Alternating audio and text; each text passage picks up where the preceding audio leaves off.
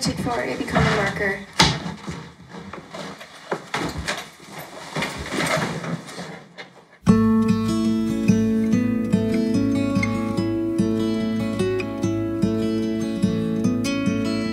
I was 25 years old and I was single. I was looking for a house to start a family in. And uh, found this place, and as soon as I walked up to it, I knew it was the place for me. I had to have it. A large two-story house, uh, six bedrooms, got an acre of land and three, four buildings in the backyard. And the house was here for over 100 years. Uh, it's a really unique property.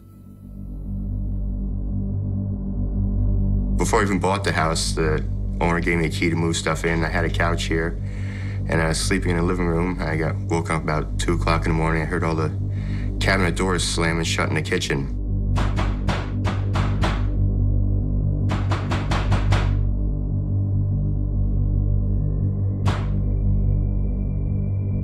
I got up and went in there thinking someone was in there.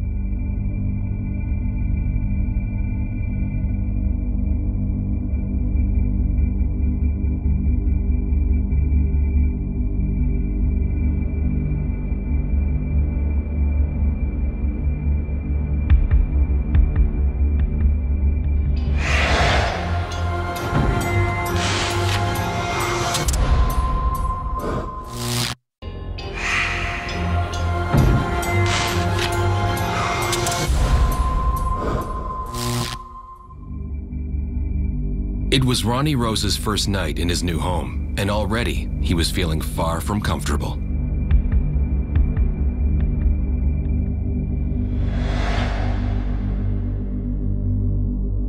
There's no one there, and all the doors were shut. At first, I thought it was an intruder that came in, but upon going in, I was only one room away, so there's no way they could have got out in that time.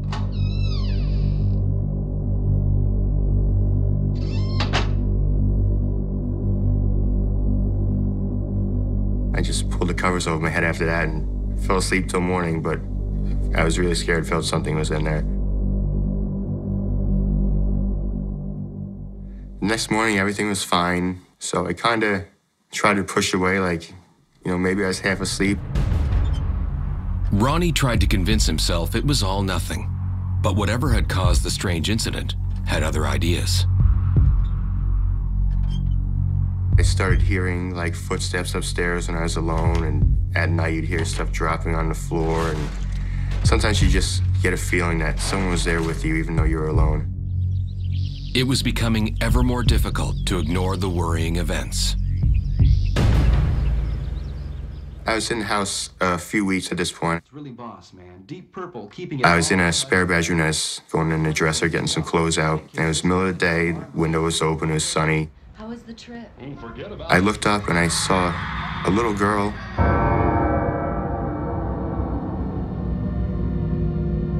Probably about five, six years old, wearing a white dress with dark hair. Her back was turned to me, standing in the doorway of the room I was in. I couldn't see her face, but I could just see black hair with a long white dress that almost touched the floor. And she was kind of see through looking. And then she walked out across the hallway into another bedroom and then just disappeared in the doorway.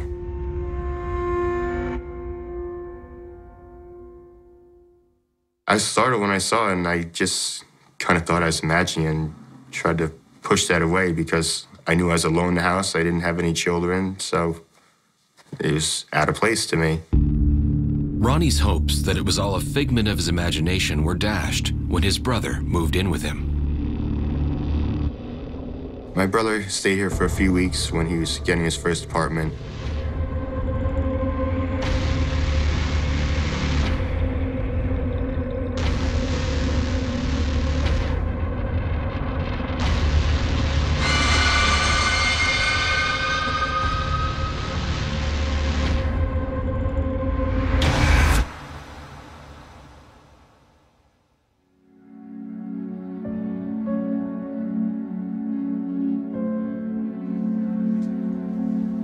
He asked me the next morning, Were you in my room last night? And I said, No. He said, You weren't leaning over my bed with your face by me? I said, No, I was upstairs sleeping. He described what the man looked like and what he was wearing. man's probably about six feet tall, gray hair, wearing a white shirt. When he said he saw that, I did believe him. The man that built our house actually died in that bedroom. Along with the house, Ronnie had inherited an album of old photos from the previous owners.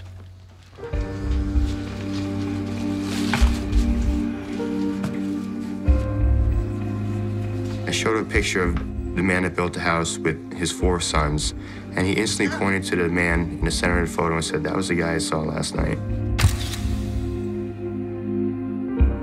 I kind of felt a little relieved that someone else that was at this house experienced something and it wasn't someone that I knew. I feel that his presence is here because he built this house, he built the business that was here, he's got a lot of memories here. It's pretty typical for somebody who built or designed a house or is very attached to their home to stay in that home in the afterlife after they've died. They feel some sort of ownership of the house still or that they feel a little bit possessive of it. And oftentimes they'll make themselves known and really establish that this is their house still.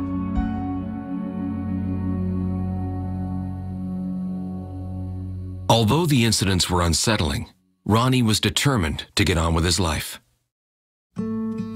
I bought the house in hopes of meeting someone, starting a family. I didn't know Candace would be that person. When I first met Ronnie, he did have the house. He lived here for almost a year um, before him and I met. We both had the same ideas on what we wanted in life, family, and everything. And after about a month or two, her lease was actually up on her apartment, and I told her to move in here.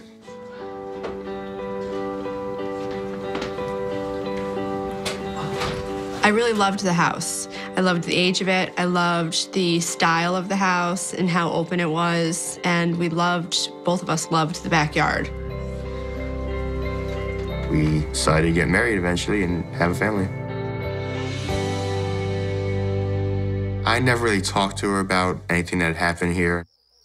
Happy to be together, the couple were oblivious to any other activity in their home until Ronnie started chatting with his neighbors.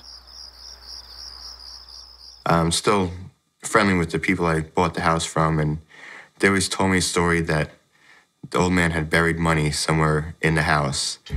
And there's a little room in the basement that he had built to make wine in, and there's a little bump out in the foundation on the wall, like a shelf that's about two feet wide by six feet. It seemed like a really odd thing to be there, so I broke out the concrete and started digging to see if I could find anything not even knowing if the story is true or not, but just trying to check it out. And uh, my wife Candace was with me at the time.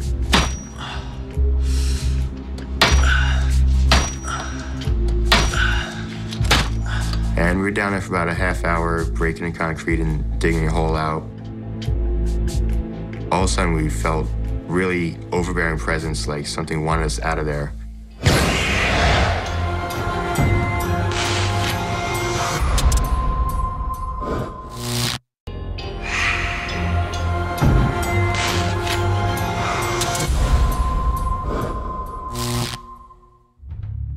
Learning that the man who built his house had hidden some treasure in the property, Ronnie Rose set about investigating a strange section of the wall in the basement. And we were down there for about a half hour, breaking the concrete and digging a hole out. All of a sudden, we felt really overbearing presence, like something wanted us out of there.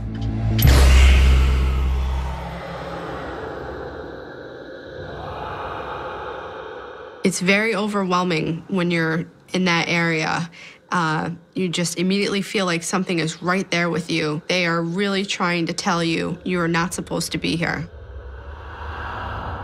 It's just a really unnerving feeling like someone was angry with us and wanted us to be away and stop doing what we were doing in that spot.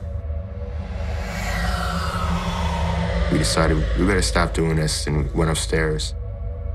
Sometimes spirits will stay here on Earth because they have unresolved issues, such as feeling um, possessive or needing to guard a certain item. So, say if somebody buried cash or money in the basement, that spirit will still feel possessive of that item. They will feel the need to protect it and guard against that so that other people will not discover the item.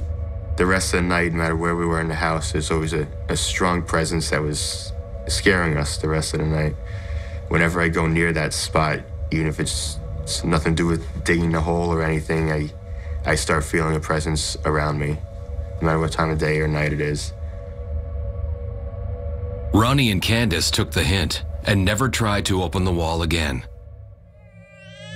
Shortly after the basement incident, Candace gave birth to their first child.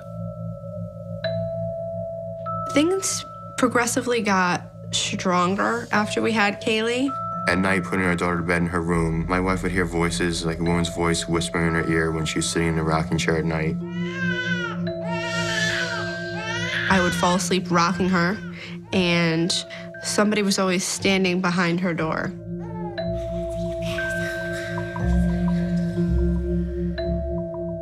And when I drifted off to sleep, I would be woken by a whisper, and I could tell it was a little girl's whisper. And I couldn't make out what she was saying to me, but I could tell that she was trying to talk.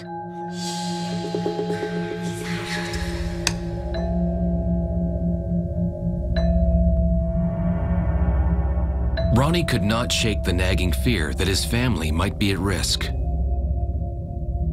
After my daughter was a few months old, she would always wake up around the same time in the middle of the night crying. And when you'd walk in a room, you'd get a really strange feeling that someone was in there. It was, it was scary. We decided to get a baby monitor to listen, and we'd hear whispers in there.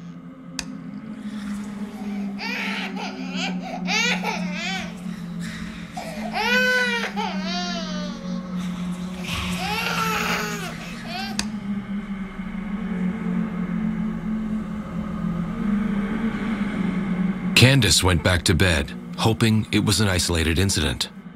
Until one night, We were in our bedroom.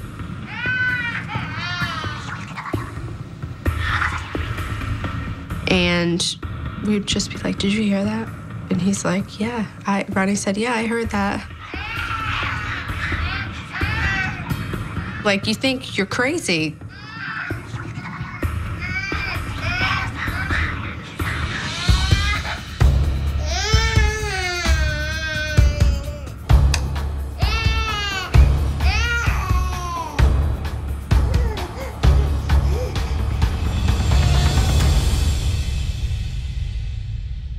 Was spooky because we had physically hurt it ourselves, but not being removed from it. Like, and you know your kid's in there and you can't take her out of there immediately. And like there's something in there with her and you don't know, are these things bad? You know, is she gonna be harmed in some way? We got a monitor with a video screen on it, and whenever our daughter would start crying and fussing in the middle of the night, we'd look at it.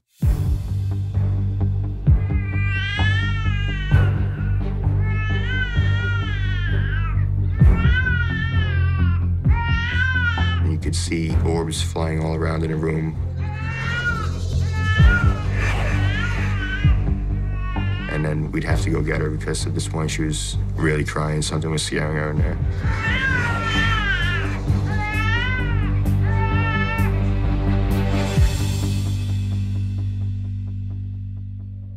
the couple were almost at their wits' end. But then the activity in Kaylee's room stopped, and everything went back to normal. For a while. When she got older and she could talk, she was always looking at her closet door at night and she always wanted the door to be shut. We asked Kaylee what was bothering her in her room if she was seeing things.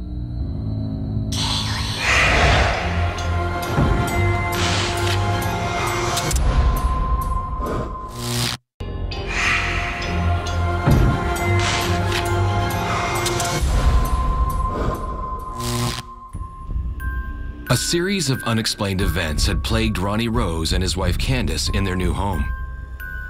Now the activity seemed to be focusing on their daughter, Kaylee. We asked Kaylee what was bothering her in her room if she was seeing things.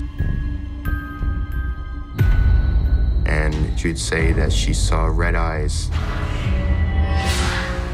And she's scary looking because her face looks messed up on the one side. And she always tries to talk to her and be near her. And she's just scary to look at, so she would cry because she didn't know what to do. She didn't know what it was. Kaylee described her as being young, uh, sort of longish hair, and she would always say that her face was messed up, that there was something wrong with her face, and that's what scared her. We were worried for her daughter. We didn't know if whatever was in there was going to do something to hurt her or she's going to be traumatized from being scared all the time. So we wanted to find some kind of resolution to it. We decided to have someone come investigate and see if they could back up what we were experiencing. Which prompted us to contact a paranormal investigation team. I called uh, John Griffin. He has a, a, paranormal research team, and he came out. Ronnie and Candace uh, uh, called me. Uh, their family was was frightened, specifically more so their daughter. They were really worried about their daughter. We had one of our intuitives volunteered to come and do a walkthrough of the house. He immediately was drawn to the second floor, particularly the daughter's room, and that he saw this little girl with a burnt face. We decided we would do a, uh, a cleansing uh, for their house. It worked for a while.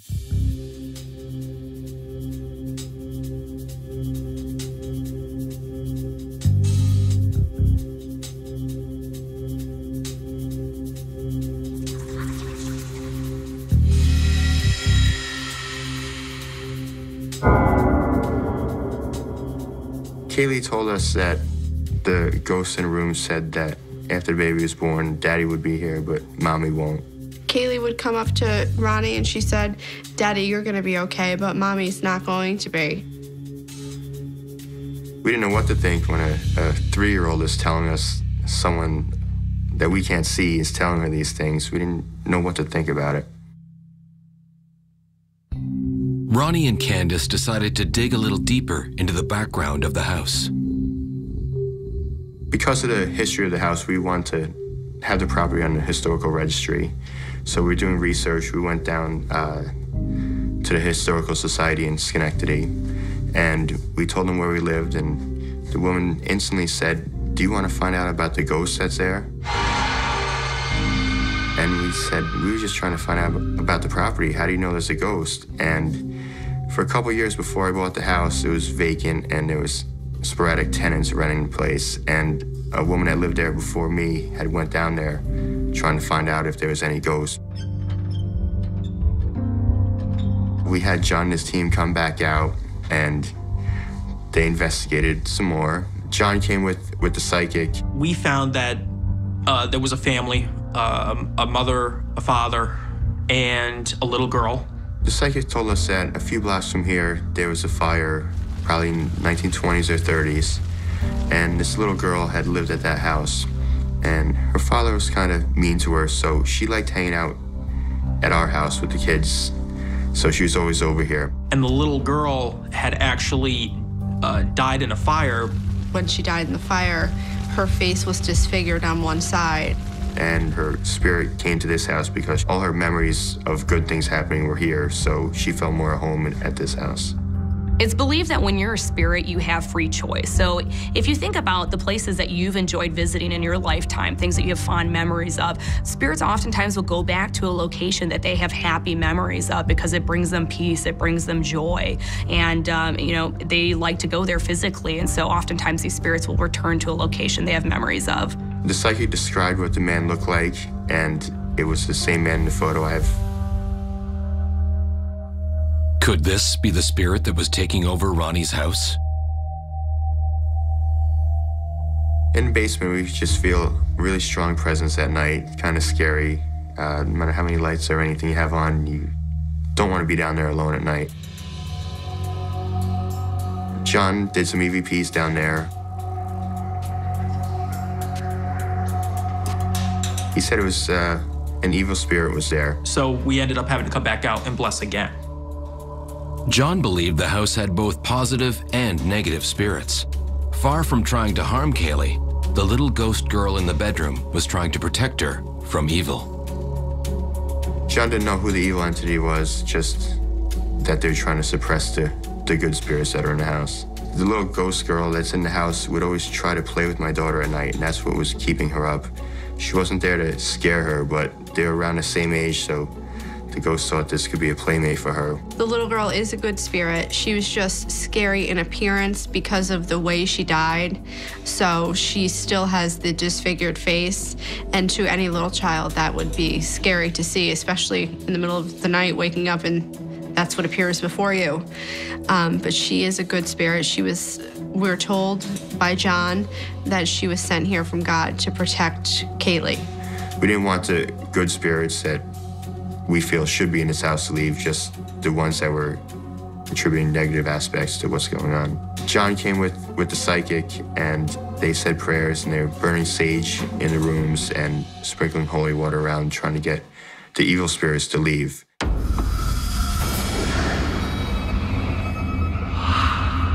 Deliver us from evil.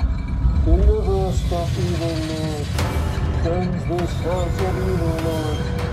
Evil spirit, leave this house.